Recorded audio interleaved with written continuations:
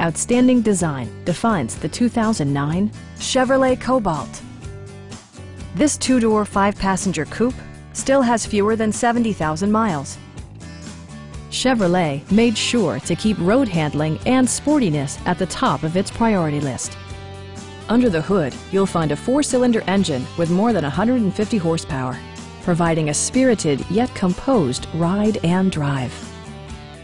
Top features include power windows, front and rear reading lights, a tachometer, fully automatic headlights, and one-touch window functionality.